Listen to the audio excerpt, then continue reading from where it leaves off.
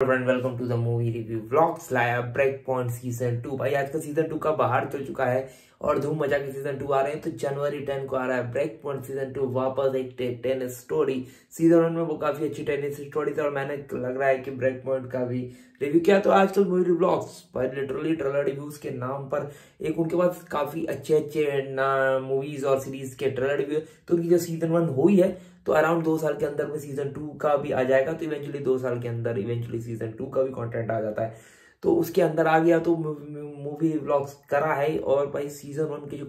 काफ़ी अच्छी successful at Netflix तो भाई सीज़न टू निकालना नेटफ्लिक्स के एक मतलब अच्छी पॉजिटिव पॉइंट्स में इनरोल होती है कि काफ़ी इंटरेस्टिंग कंटेंट वो बनाता है। तो सीज़न टू अब एक जर्नी है टेनिस की, वापस एक पेन और एक प्लेजर और एक ब्रेक होने की वो पॉइंट की स्टोरी को दिखाने के लिए full proof ready Netflix break point two का सीज़न टू का ट्रेलर लेके आ गया। तो भाई लिटरली कैसा वीडियो बन जो है सब्सक्राइब कर लीजिए। मिलते हैं।